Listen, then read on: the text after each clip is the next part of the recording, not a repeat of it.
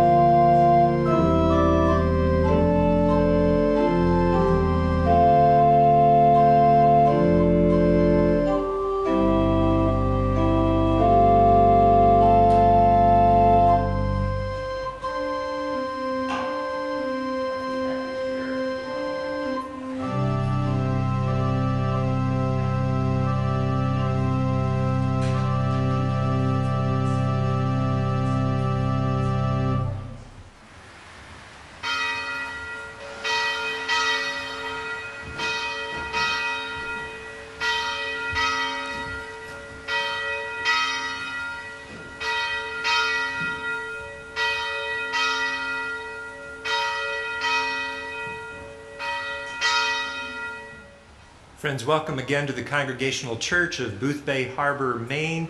No matter who you are, no matter where you are on life's journey, no matter whom you love, you are welcome here. Whether you're a believer, a questioner, or a questioning believer, all are welcome to worship this morning. This is our first Sunday of Lent. Uh, we had an Ash Wednesday implementation of ashes uh, on Wednesday morning, and we had a prayer vigil for peace for Ukraine on Wednesday evening. And, and I found that beginning of Lent to be very moving, especially because as, as we were praying on Wednesday night, we were uniting together with thousands of Christians and really thousands of people who were all praying at the same time for peace and, and that hope, hope against hope, as we think of so many people who are um, living in the face of war right now. And what also really struck me, there were about 15 of us who were praying together, and more than half had some fairly direct connection to Ukraine. Several of our members are in contact with people who are on the border of Romania and other places who are trying to help refugees. Some of our folks have lived in the Ukraine and traveled or have had um, family members come from Ukraine. There were so many connections, and it reminded me that we're affected by this than, more than just you know prices at the gas pump. We're, we're very interconnected in our world. And news of this war is so prevalent. You might have missed that there were major floods in Australia and a uh, major report came out on climate change saying that we're really not making the kind of difference that we need to make. And I have to say, news is such a downer, isn't it? You, you want to kind of tune it out. And that's why we need Lent. This is what Lent is for. We need this time of reflection to think through how do we, what makes for change? Where is God in the midst of this? You know, we can't change what we can't face. And Lent helps us face things squarely and honestly with God's help. We need a collective human 12 step program. And Lent is step four make a fearless moral inventory. That's where we are the courage to make that moral inventory. And, and to me, you know, it sounds hard, but it's hopeful. When we go through this season of self examination and reflection, it means we believe we can change. We believe humanity can change and move in a new direction, and that's why we do this. With God's help, we can find reason to hope in the midst of grief and fear and injustice. So, Lent is this invitation to seek wholeness together. So, one thing we'll be doing in Lent at the beginning of our services on Sunday morning is we've added in a prayer of confession and words of assurance of grace. And so at the end of the welcome, we'll have a unison prayer of confession that will be up on your screen that we will pray together. I'll give you a few seconds of silence for your own prayers. And then I will give an assurance of grace. And after that, we're going to sing a chorus that you know um, the chorus from Eagle's Wings. And then after that, we will um, pass the peace as we normally do together. So that's the flow of our service. Um, please see this as a time to lay down your burdens that we may come before God. And with that, I invite you um, to pray together our prayer of confession. There we go. Let us pray. Forgive us, O God, when we see the world through rose colored glasses rather than it is really is, much less the way you seek it to be. Forgive us, Holy One, when we forsake lively and risky faith, calling us to be agents of change in our world for the bland conviction that all will be well. Renew us with your grace and ground us with your spirit, that we might be empowered to live in word and deed as testimonies to the power of your love over the grave. In Jesus Christ we pray. Amen. In a moment of silence, may we each lift up our prayers to God.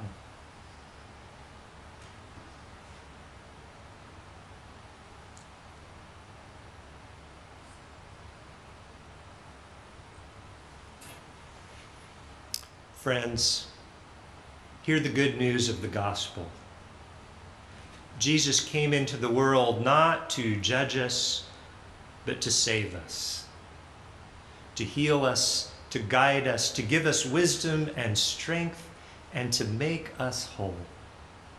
So hear this good news. Your sins are forgiven in Christ's name. Listen, give thanks, and live. Amen.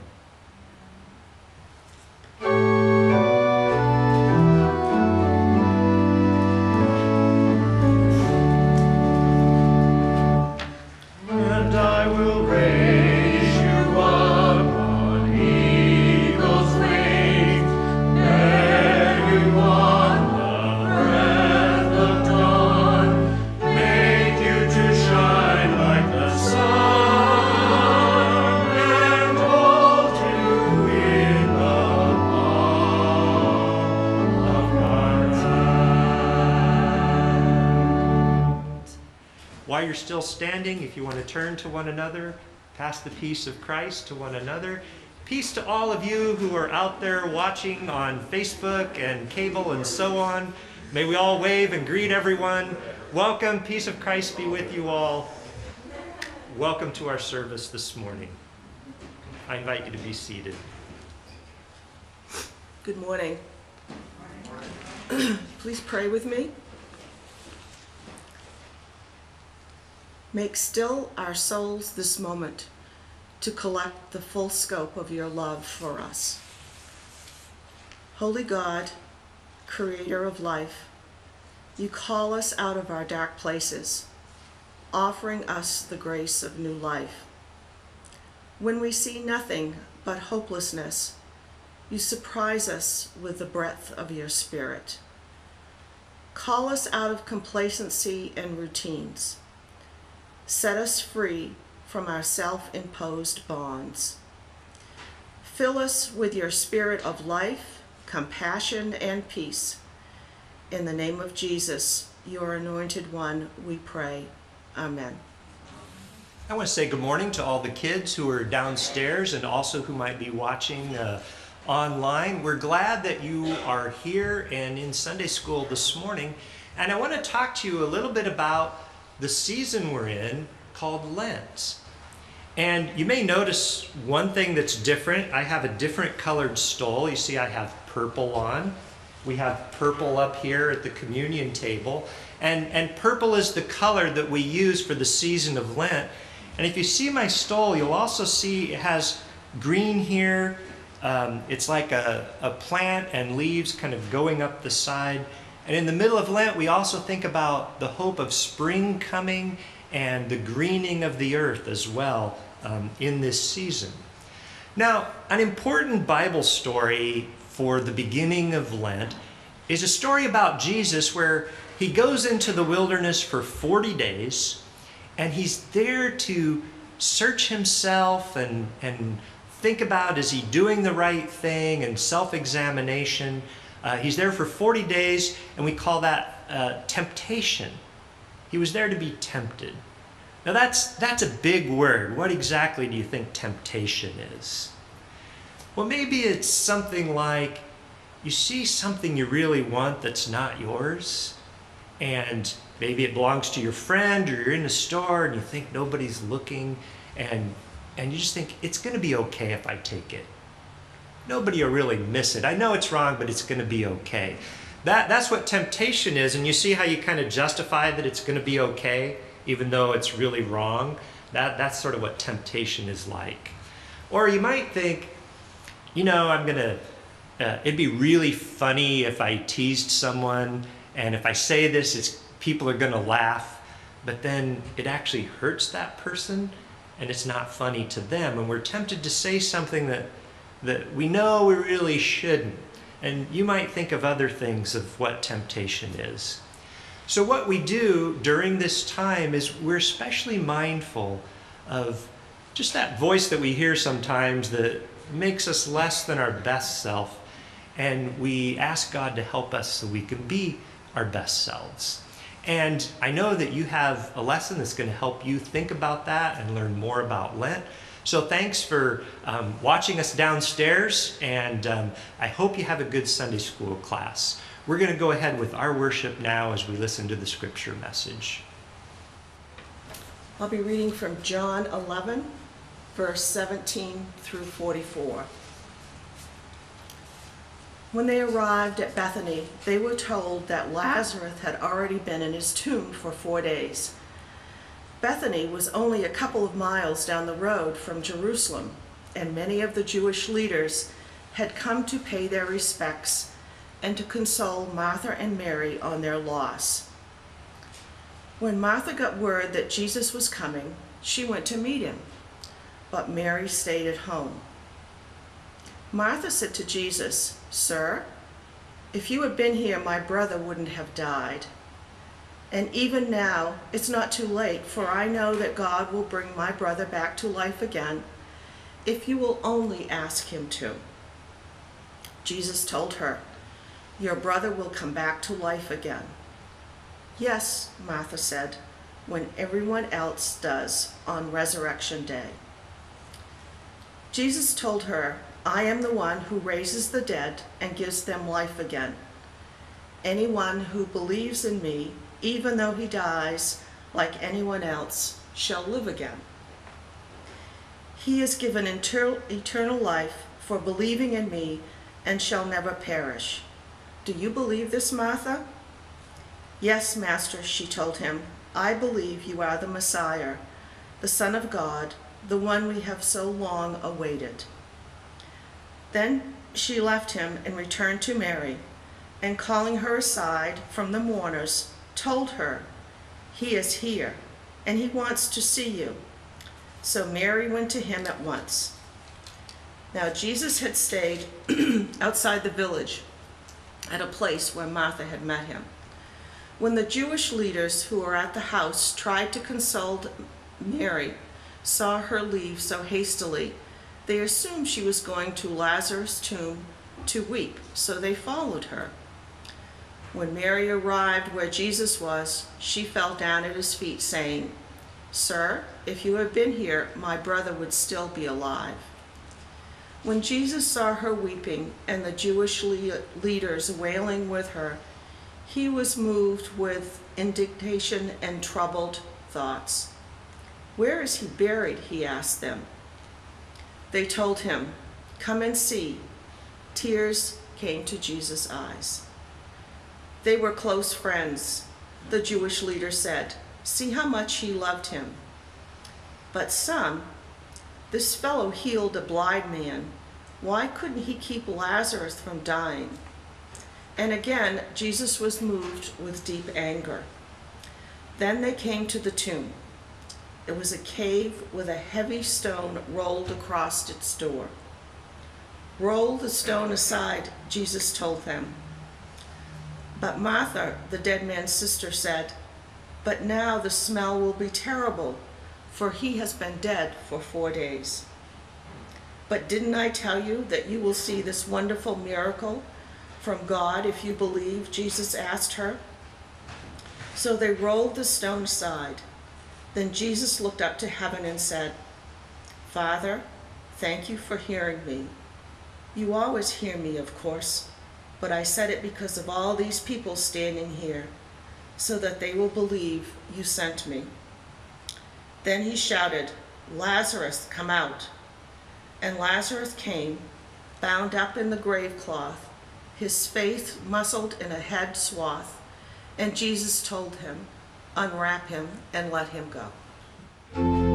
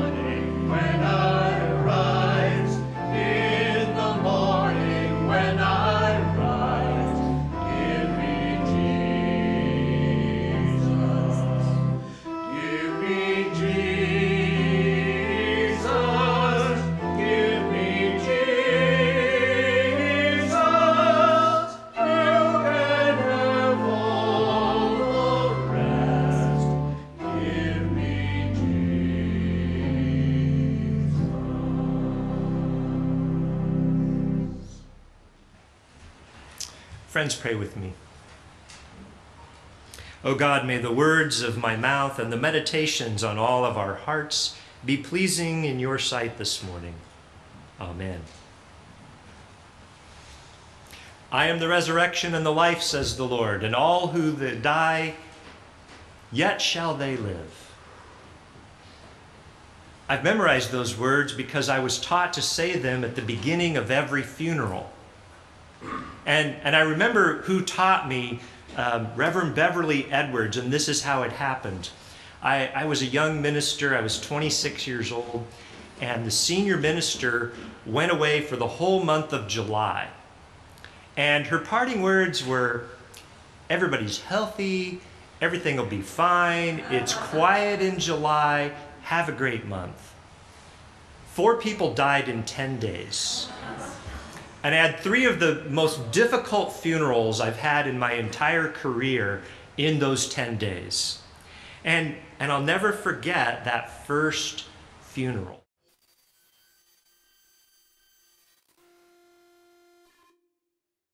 You won't forget that. That's how I felt, exactly. It was channeling my feelings into the sound system. And now that we have your attention, so that so that first funeral, I remember meeting um, the daughter of the woman who died, and and she came to me, and the first thing she said to me is, "Don't you dare make my mother look good." She was difficult. All of my siblings, we called her the white tornado. And I am the only one that's going to show up for her from this family. So, whatever you do, I don't want to rainbows. Don't turn my mother into a saint. Okay. Turned out she went to a different church, and her pastor, Beverly, had pity on me. And, and she showed up right before, a few days before the funeral, and said, Have you ever done a funeral? And I said, Well, this is, this is my first one. She says, Okay. And she had a, a little notebook for me that she bought. She'd Xeroxed all of her favorite funeral prayers and she'd put them in the notebook for me. And she says, Here you go. And make sure you start the funeral with, I am the resurrection and the life, says the Lord, and all who believe in me, though they die, yet shall they live. Just like it is in the Book of Common Prayer. And I've never forgotten this lesson because she said that, that when you say those words, you're creating some sacred space. You're, you're opening the door to mystery at the beginning of the funeral because it's not just about how we feel. Yes, people may be grieving and, and sad, but, but it's not just about that. You are the steward of the sacred mysteries of life and death at the funeral, and this is how you need to begin.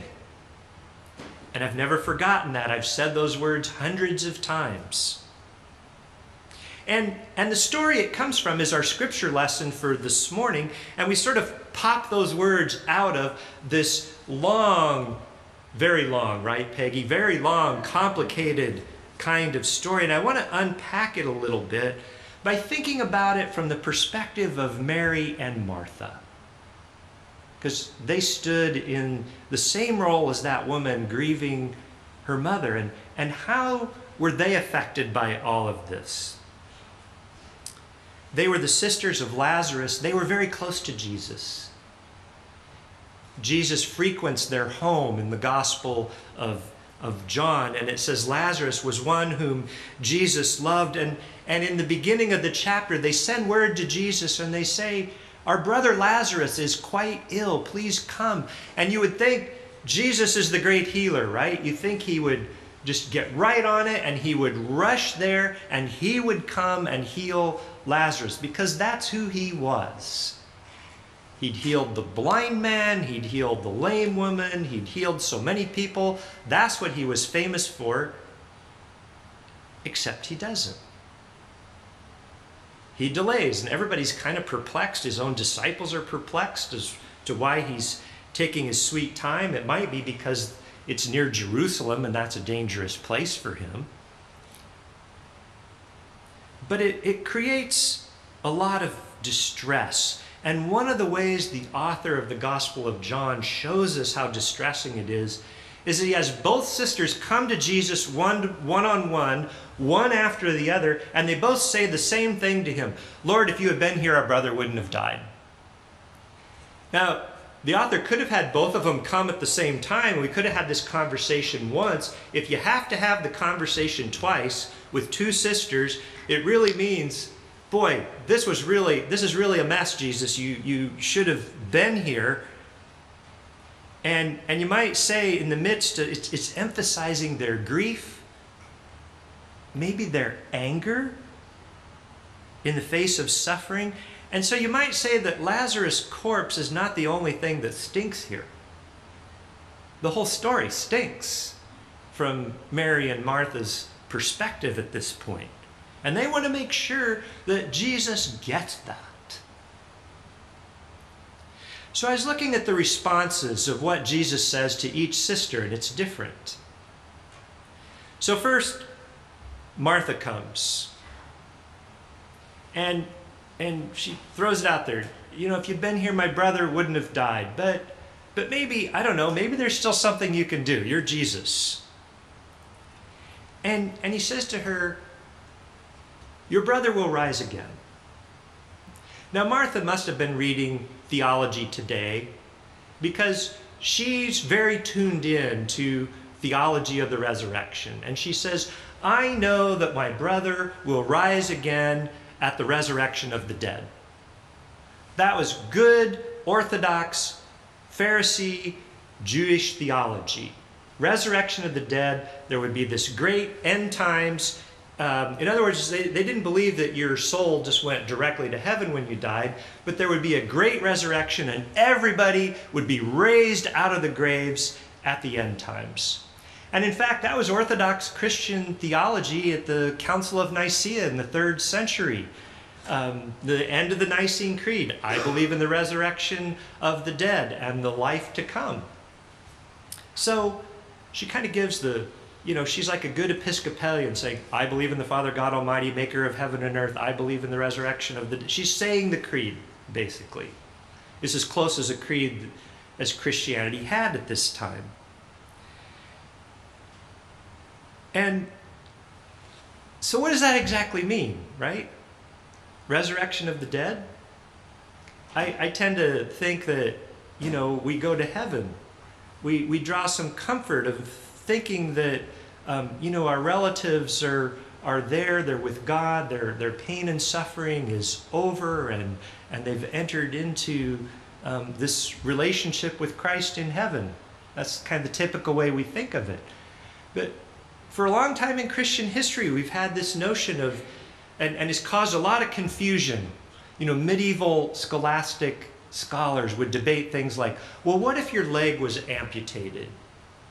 And at the resurrection of the dead, like, did God catalog where your body parts were so that they could all be raised together? Or at the resurrection of the dead, which body do I get? Like, am I stuck with the body I had when I died? I'm not sure I want that one. Can I have my 21 year old body? How does, how does this all work? If you take it literally, it can really like be very troubling to try to figure out. So, Jesus has now said, I am the resurrection and the life. And Mary still thinks that this is all about their theological conversation, right? Oh, yes, I know that, that you're the Messiah, and you know there'll be a resurrection of the dead and my brother will come back then. And that's that's sort of the end of it right? Now if you were martha would you have felt like that was good pastoral care? You know you, your brother has just died. You're, you're sort of mad at your pastor because you wish they'd been there sooner right?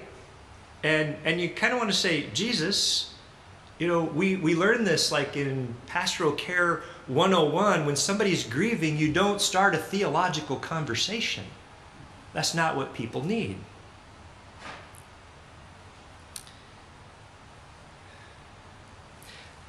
It's really hard to know what to say to God when we're in the midst of grief and suffering. I read an op ed in the New York Times that was titled, After Great Pain, Where is God? And the author um, had several friends that were going through terrible things. One was being going through a divorce, and another had tragically lost a child, and one of his best friends um, had died, and he was in touch with um, the man's wife, and she wrote him this email. She said, I wish I could tell you that we are walking this journey with courage and faith. But really, that doesn't describe my situation at all. The outward courage I show feels like a ruse, trying to convince everyone that this immense pain is going to subside, and I just feel like the weakness of my faith is eventually going to show. And I thought about that, and I thought, no one can really teach you ahead of time how to deal with immense suffering. We don't know what to do in the midst of death before we've met it. No theology can immunize us from what hits us. One of the greatest theologians of the 20th century, C.S. Lewis, thought he understood death. He thought he understood grief and pain. He wrote some of the best books that are still read. And, and he wrote that we have suffering and pain in the world so that we can know about goodness, often a standard answer. He said pain is the way God breaks into our into our lives and he wrote God whispers to us in our pleasures but God shouts to us in our pain it is God's megaphone to a deaf world. Okay. Then his wife died. And everything changed. And his next book was entitled A Grief Observed, and it was the basis for the play Shadowlands that uh, came out a few years ago. And in that book, he wrote When your need is desperate, when all other help is vain, and what do you find? The door is it's, it's slammed in your face, it's bolted, it's double bolted. And after that, silence. And the conclusion I dread, says C.S. Lewis, is so there's not a God after all, but rather, so this is what God is really like. Deceive yourselves no more.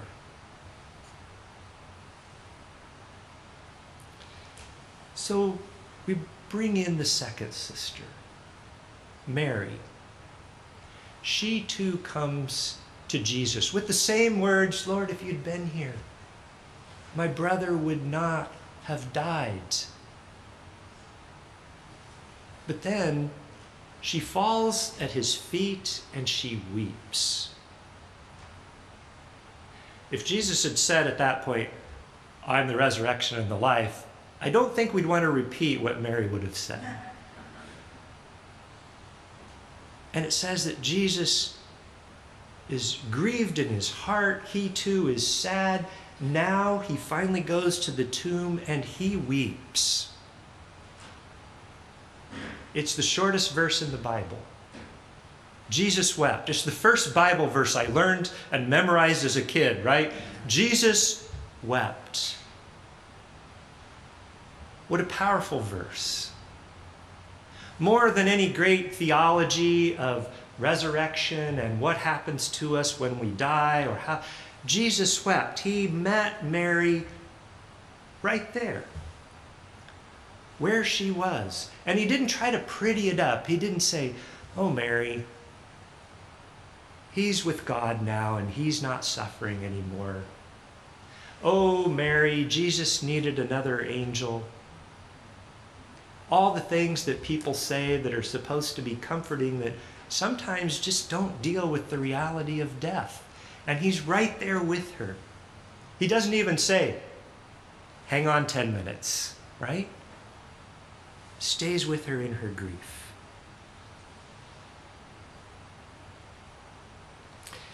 We get this complex and wonderful picture of Jesus in the Bible.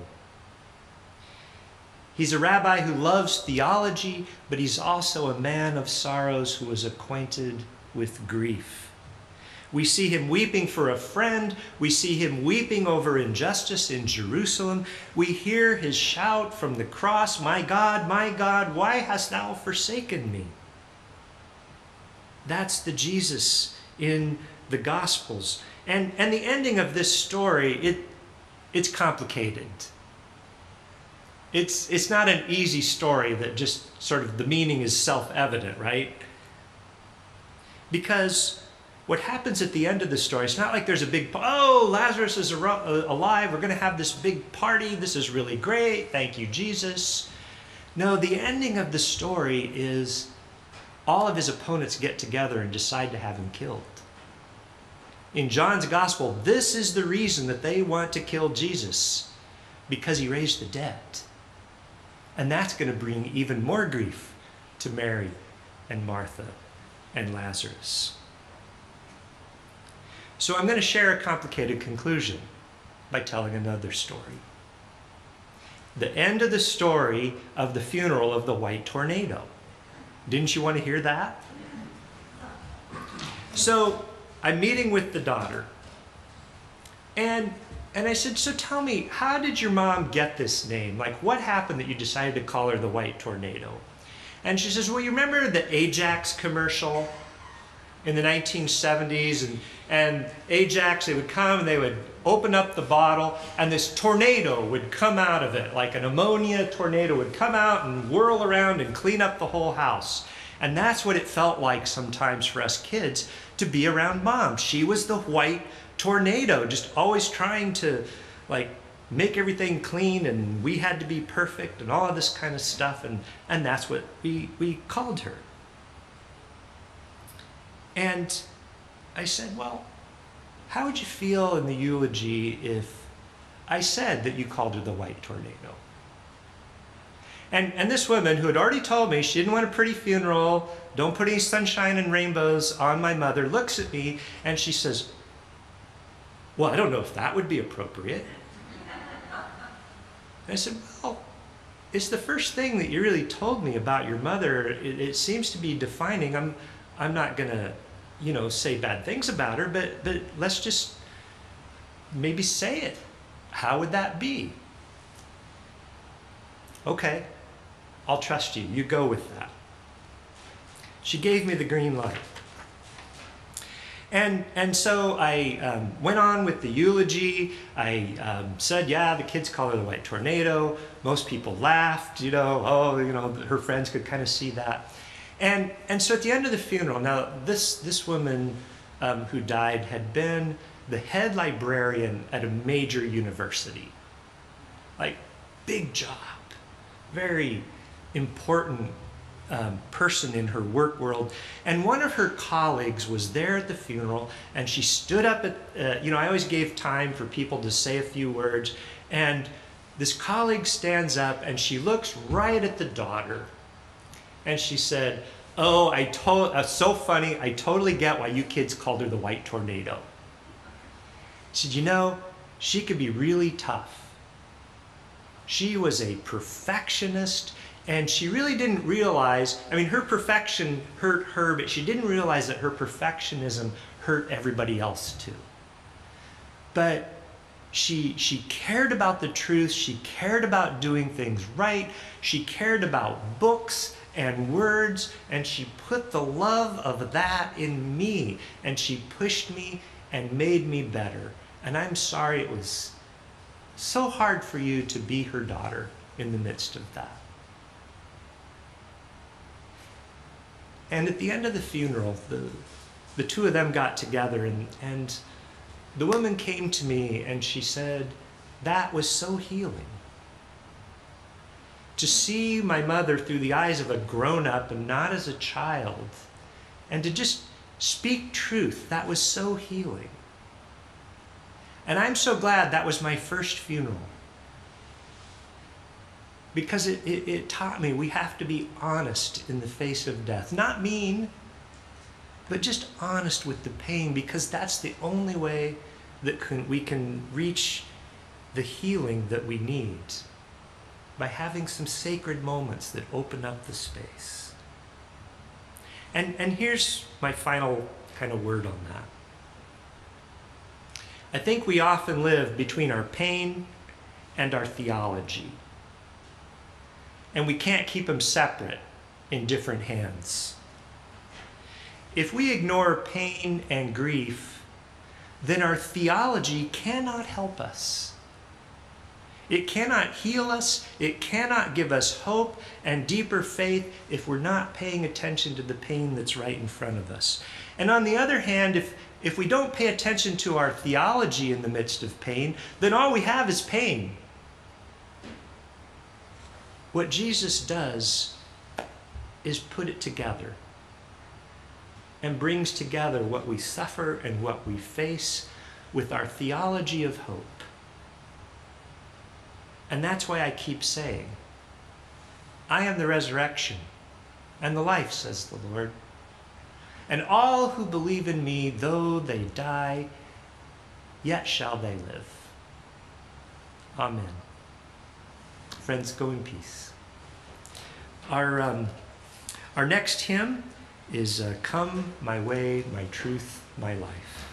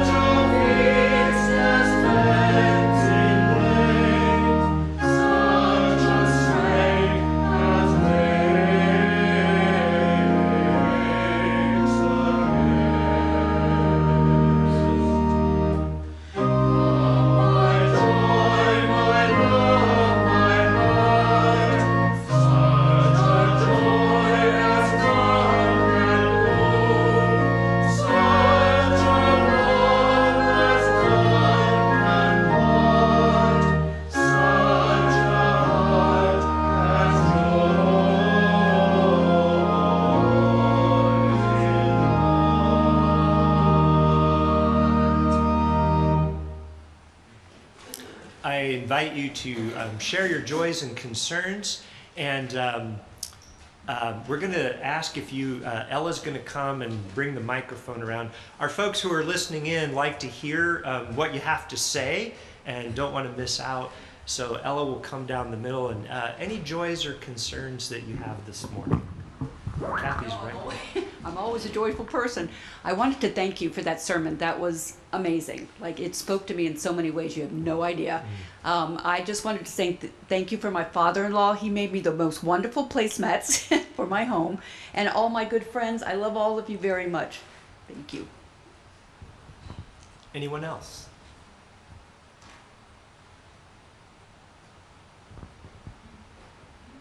Thank you. I, I think that's it. Okay, let's pray. I, I don't know, about, I'm feeling very emotional.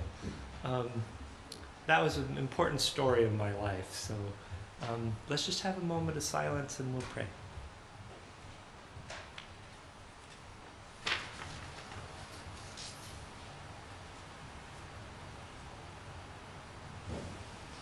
O God, who always listens to us, who breathes new life into us,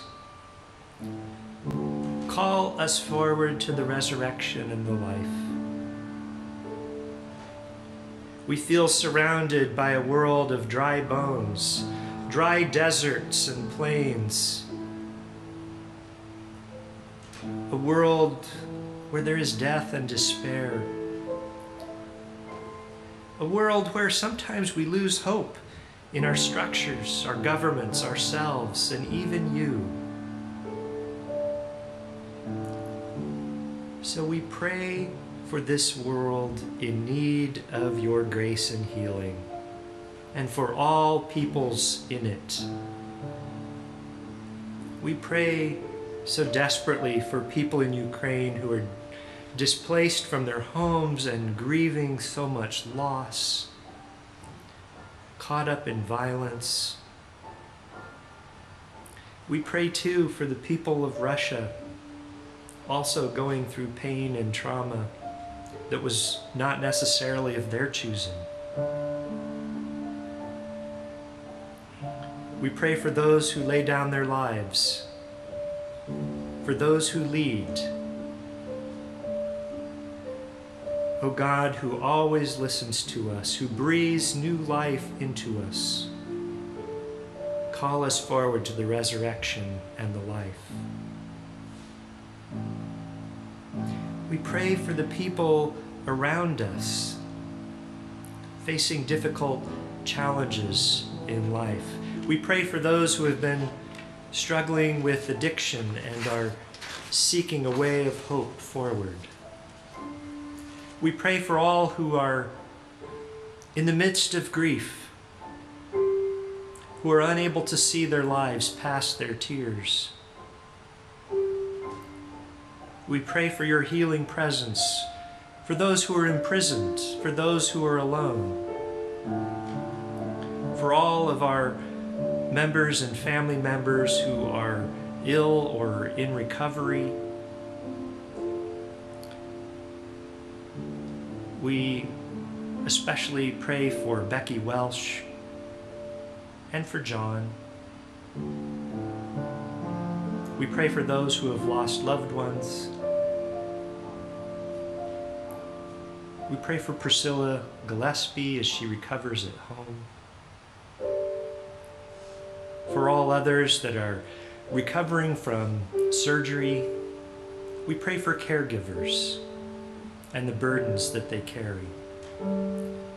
O God, who always listens to us, who breathes new life into us, call us to the resurrection and the life. And we pray for your church throughout the world, for the courage to follow you, to work towards your new creation in us and through us. O God, who always listens to us, who breathed new life into us, call us forward to the resurrection and the life. We pray as Jesus taught his disciples Our Father, our Mother, who art in heaven, hallowed be thy name. Thy kingdom come, thy will be done on earth as it is in heaven. Give us this day our daily bread, and forgive us our debts as we forgive our debtors. And lead us not into temptation, but deliver us from evil. For thine is the kingdom, and the power, and the glory forever. Amen.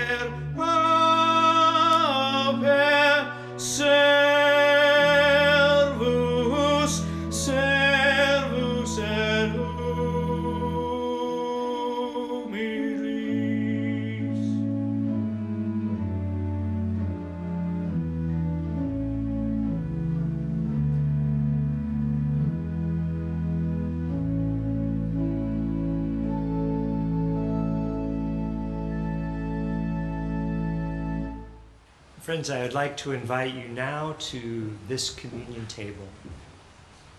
Come to this table not because you must, but because you may. Come to this table not to express an opinion, but to seek a presence and pray for a spirit. Come not because you are fulfilled, but because there is an empty space inside that only God can fill. Come as you are, part saint, part sinner, longing to be whole. Come that you may know that Christ walked among us, shared our common lot, and showed us the ways to walk with God. Friends, let us pray together. Holy God, our loving Creator, close to us as breathing and yet distance as the farthest star. We thank you for your constant love for all that you have made. We thank you for all that sustains life and the people of faith in every generation who have seeked to follow you. We thank you that Christ came among us, that you sent from your own being to us and we honor Christ's birth and life and death and resurrection and the calling forth of your church for its mission in the world. And we give thanks for the guidance of the Holy Spirit. And in the power of the Spirit, we offer ourselves to you in this moment and praise your name for all of the work that you are doing in us as we now share this meal together. Amen. When Jesus had gathered with his disciples in the upper room, he took bread and he broke it and he blessed it. And he said, This is my body, it is broken for you. Take it and eat as often as you do so in remembrance of me. May we share together the bread of life.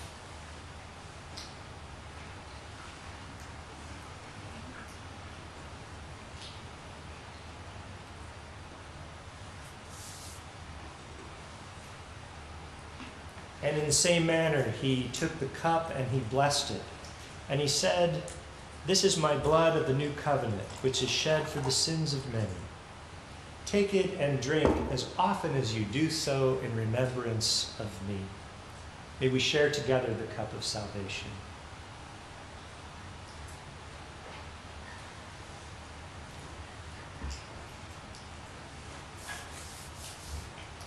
For our prayer, I just invite you to repeat after me God, strengthen our faith.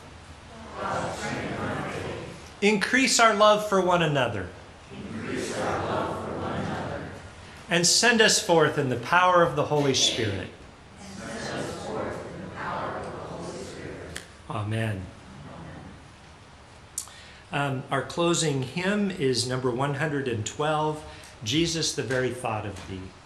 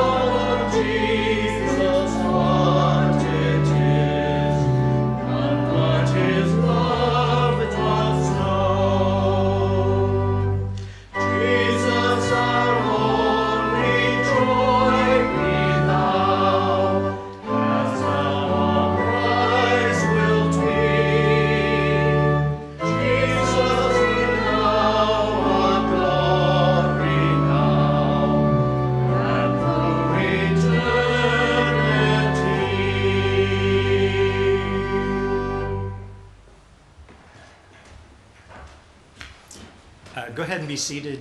Um, I'm actually going to fold in the offering with the announcements as we close the service. Thanks to all of you who um, pledge and who help make our mission possible. Thank you so much. You can give online or um, in the baskets that are at the exits.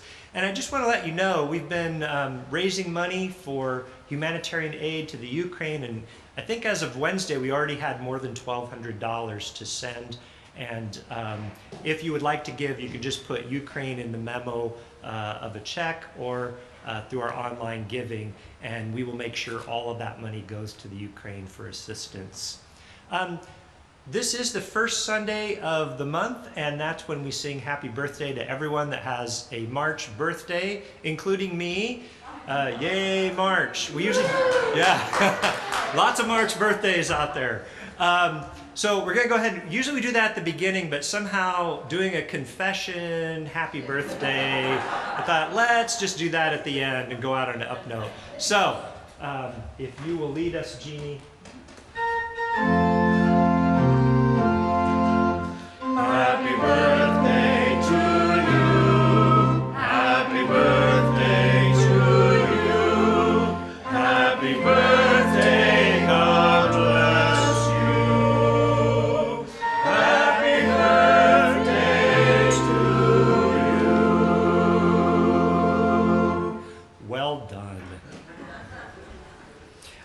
couple of announcements before we close. Um, after our worship, we're doing a Zoom coffee hour for all of you that are watching, or if you want to run home um, at 11:30, we'll sign on.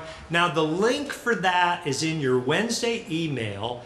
And what you need to do is scroll to the end of the email and it'll say link for Zoom coffee hour. If you have any trouble finding it, just email me and I'll check before I sign on and make sure you get the link. And, and we'll just take a, a few minutes to check in, say hello, talk about what you're doing for Lent. We just thought for all of you that are watching, we want to somehow include you um, into the life of this community as well. Um, as I said earlier, we are in the beginning of Lent. We still have some of the Lenten devotionals from John Pavlovitz. Um, they're out here in the hall, and feel free to pick one up. If you would like one and you're watching, just uh, let us know and we will work that out. Um, you can read it on your own. We're also reading from it Monday through Thursday night at 5 o'clock in our evening vespers. Any of you are welcome to drop in on uh, any of those evenings. That's all my announcements, so let me send you off with a blessing. Friends, be a blessing. Pray often. Practice peace. Lead with love and be joyful. Be kind, give thanks, do good, and have courage. Work for justice, encourage others, be the light. Thanks be to God. Amen.